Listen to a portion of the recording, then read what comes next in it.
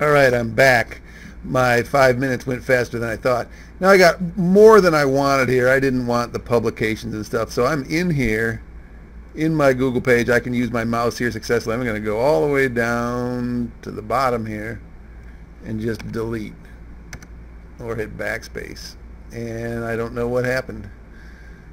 So now I'll go back here. I may have canceled my canceled my whole page.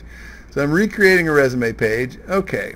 So I had problems with just selecting, for some reason in doing this video it's not letting me select just the part. So I should have, uh, let's try it again. Select all, copy, go back to my Google page, right click and say paste. It uh, fills it up. Now I have this gigantic, way more than I want. Can I get rid of it? It goes all the way down to here I want to get rid of most of this and just come up to uh, you guys don't need to see all my publications in the example web page so the point is you just got to get a basic let's see if I can delete. There we go. Basic resume. So I've done that. I've pasted in. Oop that's not over there. So I go common sense. I find my make it centered and I say save. That's nice now I have home and I have resume and I have sitemap. And I have a couple a, a couple different options. So I've done this and now always what I want to do when I have an assignment is check it in an external browser. So this should work. So I say, okay, what's the guy's resume? Or what's the guy, what's the URL? This is the URL. That's something else I was working on, but this is the URL if you've named it your with your Z number, which you must do for the class. So it's HTTPS, which means a secure website, uphill, uphill, sites.google.com, uphill A, students.niu.edu. That's the same. That part's the same for all of us. And then the Z is specific for each of us. So if you want to give it to your mom or your aunt in Idaho or something, anybody in the world can see it. Except, what's this?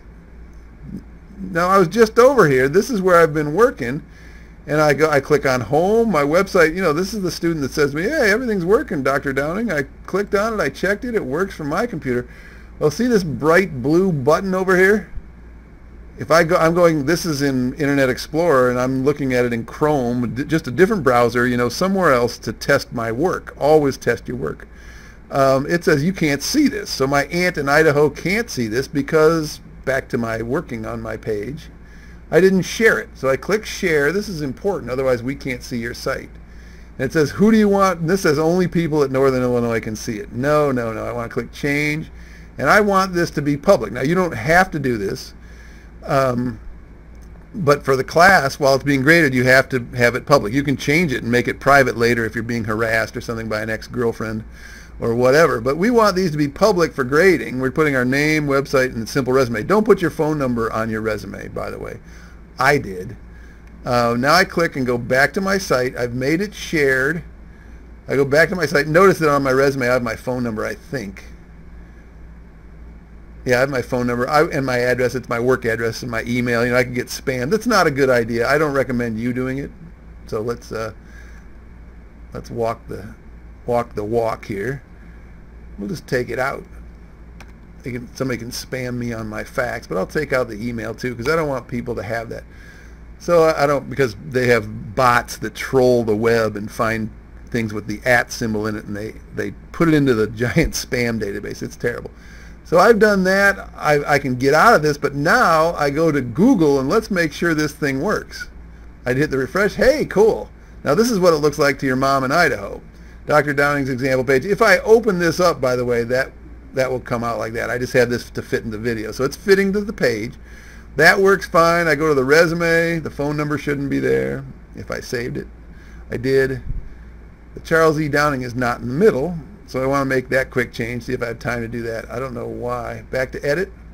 Thought I did that. Maybe I didn't save it when I did the Charles E. Downing to the middle.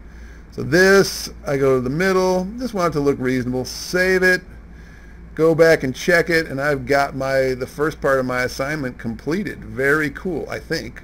Go over here refresh the page always refresh to see it be hey there's the Charles E. Downing in the center. We're good to go. That's how you do it in two quick five minute videos. Good luck. We'll see you